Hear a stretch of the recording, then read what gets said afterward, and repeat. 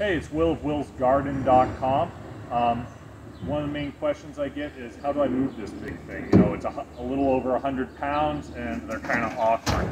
Um, you can use a hand truck, but one of the other ways is just to actually roll it. You're going to check your ground, make sure there's nothing crazy down, nothing to poke into the tank, and you're just going to take it and just walk it.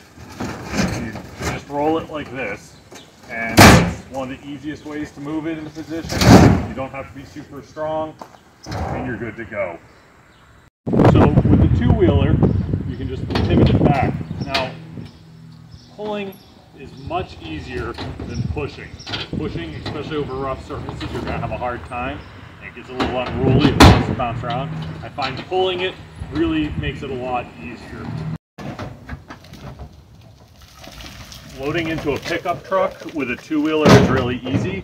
The added height of the two-wheeler wheels help, and you just tip it right up in.